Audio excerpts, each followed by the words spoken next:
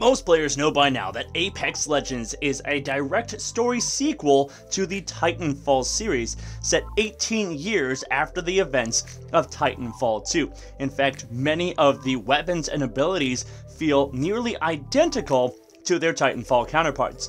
But it begs the questions, with so many similarities, where did all the Titans go? What's up you guys, I'm not amazing, I'm just mediocre, and today we're going to be solving the mystery of the disappearing titans, and the answers to these burning questions just might lie in Bangalore's tragic past, because she herself was a soldier with the IMC. But before we can get into that, we're going to need to recap the events of Titanfall 2 really quick the Archaeological Research Division of the IMC had uncovered two extremely powerful pieces of ancient alien technology. One of them was the Ark, an extremely powerful energy source, and the another was the Fold weapon, which had the ability to bend space and time across the galaxy, and they had intended to use it to destroy planets. After a desperate struggle, militia forces were able to prevent the fold weapon from firing. However, the planet Typhon was destroyed in the ensuing detonation. This led to many of the IMC forces deserting leaving the militia to gain the upper hand and setting up the final battle of the Frontier War, taking place in the last IMC stronghold in the frontier, the planet Gridiron, and this is where the story of Bangalore comes into play. You see, even though Bangalore did serve with the IMC, she never actually got to fight in the Frontier War because it was pretty much over by the time she was ready to join up. In fact, she was graduating basic training when she was delivered the news that the planet Typhon had been destroyed by a militia forces terrorist attack. That was the story that they had been told. They fell back to the planet of Gridiron, and Bangalore was ready to fight to the last man in order to protect her home.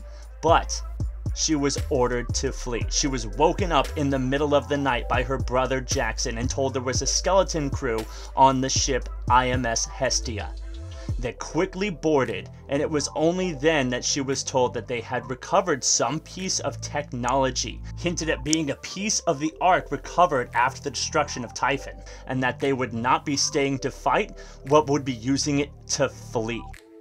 The crew of the IMS Hestia was forced into cryostasis, and then the experimental energy source was used to power up the phase tech and hurl them across space towards the Outlands.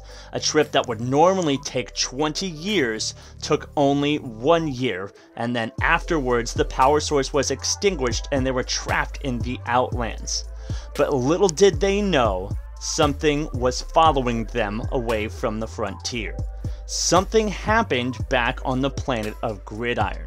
Bangalore still doesn't know if it was caused by their own use of the experimental energy source or if something else happened back on Gridiron when they left, but what can only be described as a massive electromagnetic pulse began to make its way across the universe, shutting down all forms of communication. All satellites, all computers, every power line in existence just shut down for good. And you never knew it was coming because the time it hit you and really you realized what happened, you couldn't warn anybody in the path of it because you couldn't contact them. And it took five years to spread from Gridiron toward the Outlands.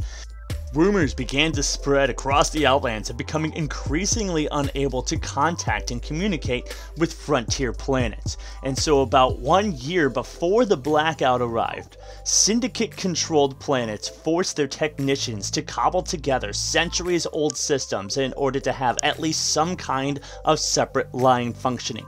And by the time the blackout finally arrived in the year 2720, those syndicate planets with their old technology were the only ones still standing, still left functioning, with any ability to communicate with anyone else across the universe. And so that's how the syndicate was able to start to take control of the Outlands. Not only that, but this blackout event, at least in my eyes, completely explains the lack of titans in the Apex Legends universe. If this massive electromagnetic pulse has been traveling across the universe, shutting off every power source, that would include the batteries that power titans. We have these two massive superpowers, one in the form of the IMC, which has been manufacturing titans for centuries. And then you had the militia, which by the time of Titanfall 2 were only just managing to be able to create their own Titan chassis instead of trying to recreate ones already developed by the IMC. So it's made clear that the development of a Titan is a very intensive process, which would no longer be possible in a world after a blackout type event where all of the communications, all of your infra uh, infrastructure is completely destroyed. It's just simply not going to be feasible or possible to recreate Titans on a massive scale. That is until just recently when Hammond Robotics finally made their return to the Outlands after a 14 year absence, with a shiny new public relations image attempting to distance themselves as far as possible from the IMC and the events of the Frontier War. And this begs the question of what is Hammond Robotics actually up to? What do they want from the Outlands? What really happened back in the final battle of the Frontier War on Gridiron. From all signs, it seems like IMC may have turned out victorious because I don't see any militia forces here, I only see Hammond Robotics. And not only that, the first thing they do when they show up on the scene is drop a massive device known as a planet harvester intended to suck the minerals out of a planet all those raw materials, those raw resources, could very well be going towards rebuilding an army. Rebuilding the titans that they once used to subjugate the people of the frontier and that they may now use to subjugate the people of the outlands. They also appear pretty intent on recovering any research and technology that was lost in the Outlands. It's entirely possible that the events of the blackout caused them to lose access to all kinds of research and data that was once at their fingertips, and now they have to rebuild their archives, their library of information.